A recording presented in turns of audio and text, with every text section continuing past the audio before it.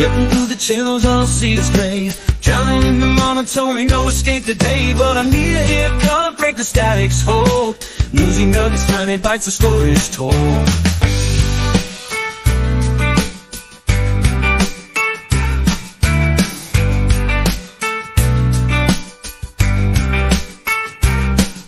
Say goodbye to boredom, headlines made of gold. Twist and shake perspectives in a way so bold. They serve it up with humor with a snarky twist. Little bites of news to fill your daily list. Hey guys, it is Mo with the morning newsy news nuggets, and we have three stories for you. One is an update.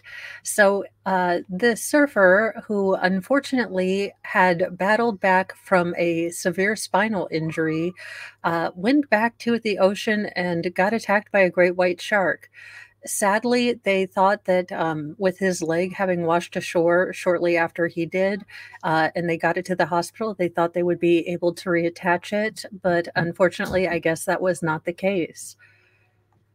A surfer whose severed leg washed up on an Australian beach after it was bitten off by a shark has confirmed the limb has not been reattached.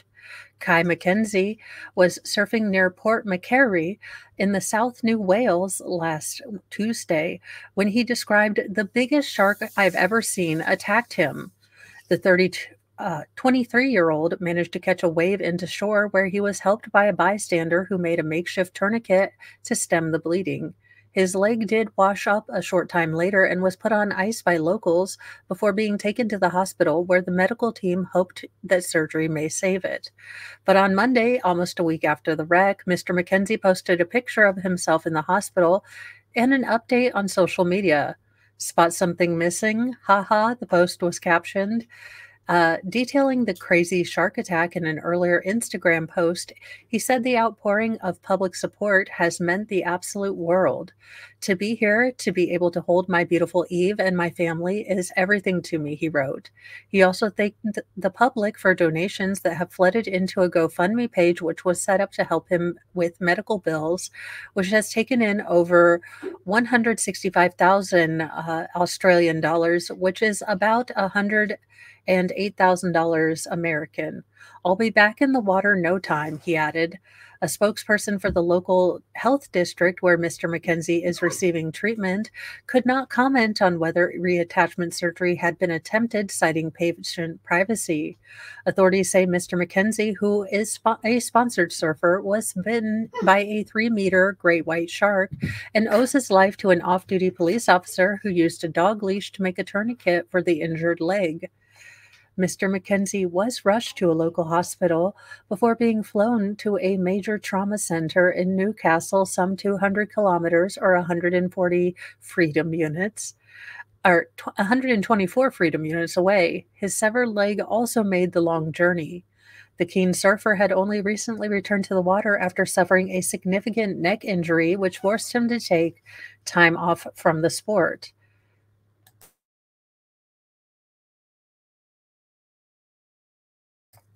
In a statement on Tuesday, our, the McKenzie family thanked all the medical staff, bystanders, and first responders who had worked to save the surfer's life.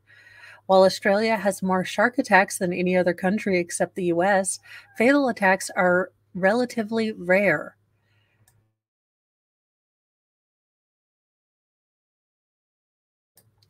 Our second story, well, your dad has always warned you, or if you're me and I am the thermostat queen, uh, you know, bad things are going to happen if you try to mess with the air conditioning.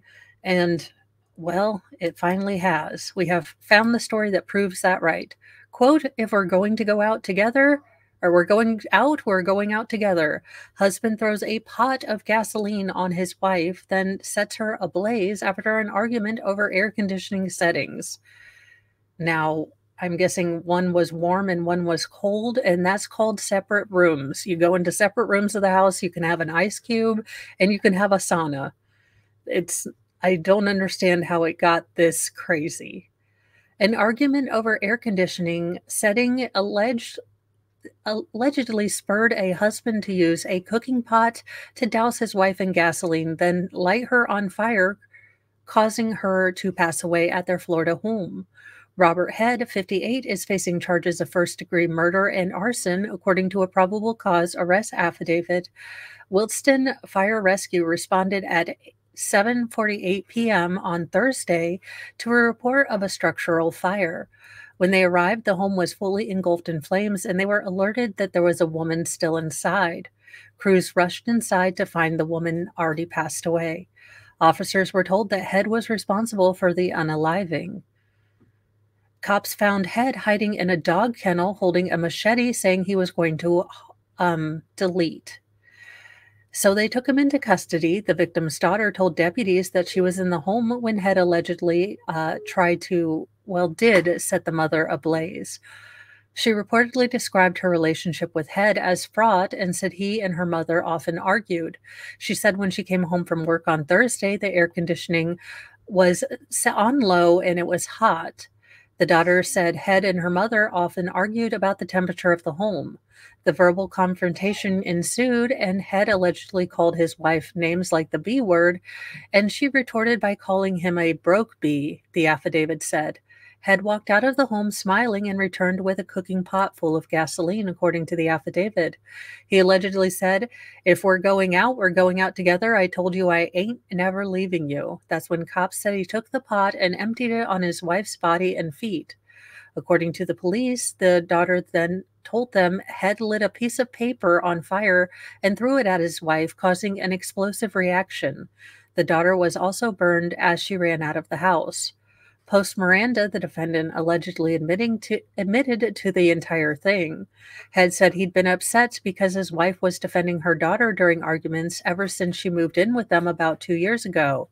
After the two argued with him over the AC, he allegedly said he went outside and filled the pot with gas, then came back inside and unalived his wife. He said he planned to take his own life before officers showed up. When asked, the defendant stated he deserved to be unalived by the state for taking the life of a victim. Gainesville ABC affiliate WCJB identified the victim as uh, Genether Head. She was blunt and she was caring. Her nephew Jamal Bradshaw told the outlet it was very rare she would say no to you if you came to ask her for something. She was very supportive, and I am very sorry. Uh, Jennifer look, her name is spelled G E N E V E T H E R. I apologize for mispronouncing it. It's terrible what happened to this woman, and I just don't know how to pronounce it. Uh, it's a process for all of us, said Bradshaw.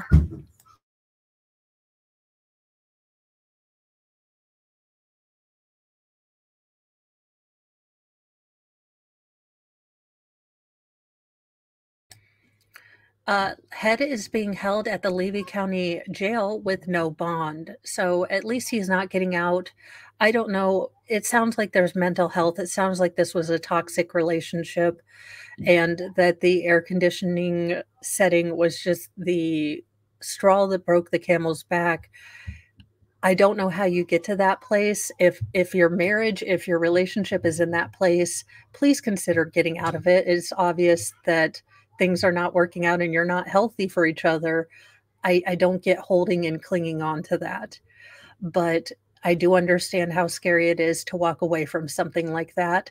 And, you know, if you are in a place where someone is constantly pecking you and, and, you know, picking fights and putting you down, please consider leaving. Please consider, you know, your self worth. And it will be scary, but it will also it's not impossible. Scary, yes. Impossible, no. And I think a lot of people um, can tell you that.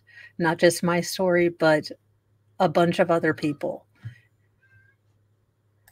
Well, uh, the the Seine is too gross for the triathlon. The men's Olympic triathlon is postponed as the Seine remains too contaminated for safe swimming seems uh, like a good thing. I'm sure that's great. They did know about the Olympics prior to a couple years ago, right? Like they could have figured this out. But seems like uh, levels of E. coli indicating um, poo uh, remain too high for athletes to compete.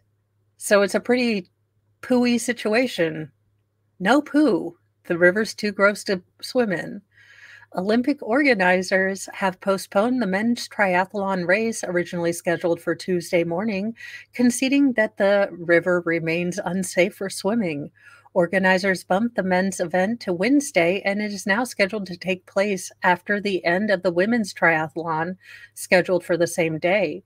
Quote, despite improvement of water qualities in the last hours, the readings at some points of the swim course are above acceptable levels. World Triathlon, the international governing body for the sport at the Olympics, said in a statement on X. The statement said the organizers could move the race to Friday as a contingency if they needed. Uh, quote, Paris 2024 and the World Triathlon reiter- reiterate that their priority is the health of the athletes, the statement said, referring to the organizers of the Games.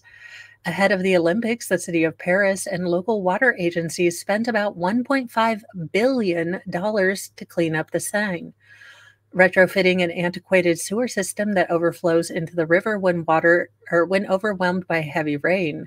As part of the upgrades, the city built a massive underground basin to hold stormwater for treatment.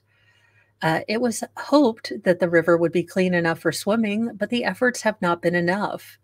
The most recent published monitoring report from testing conducted July 17th through the 23rd showed that E. coli levels spiked at Pont uh, Alexandre III's bridge, where athletes are meant to start and finish the individual triathlon events. After a day of heavy rain on July 20th, at its peak, contamination was at least double the levels typically considered acceptable under the World Triathlon Competition uh, rules.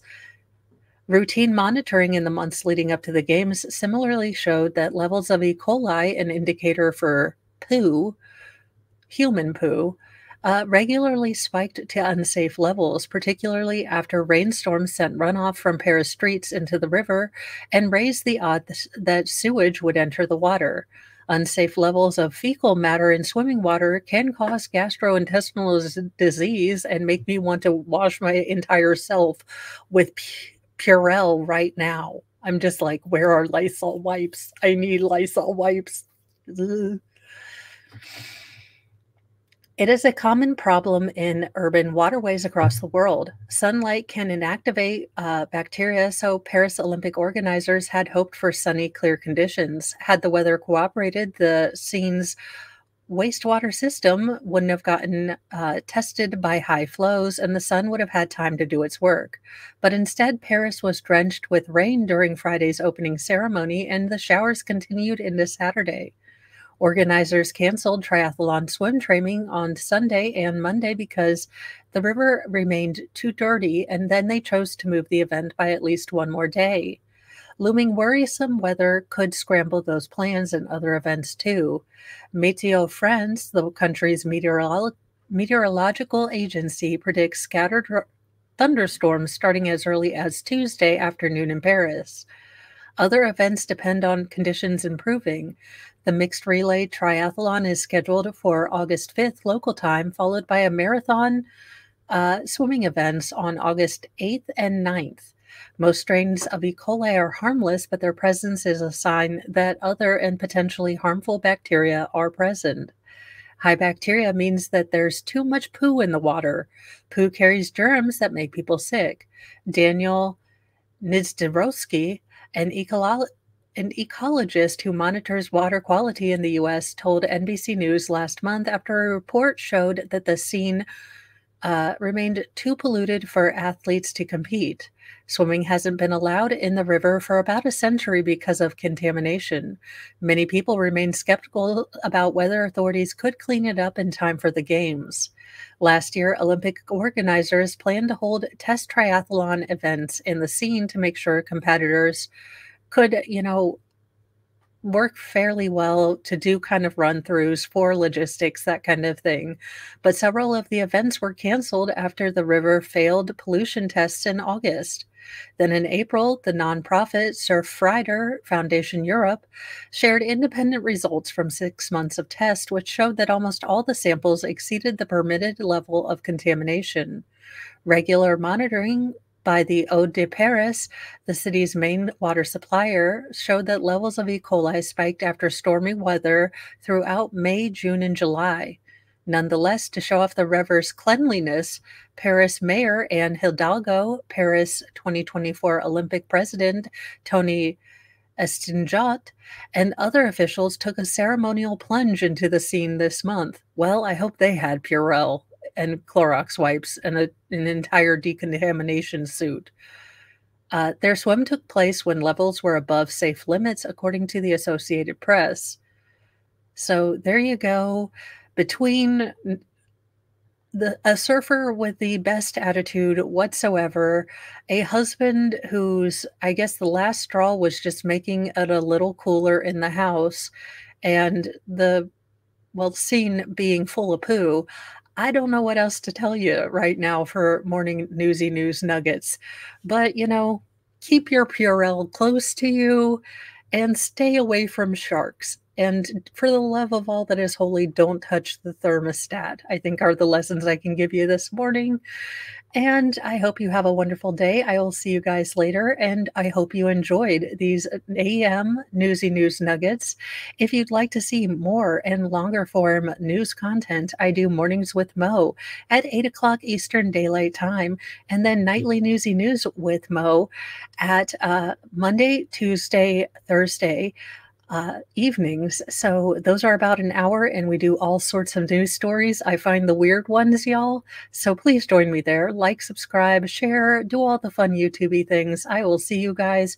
Be kind to yourself and be kind to others. Have a great day. Bye, guys.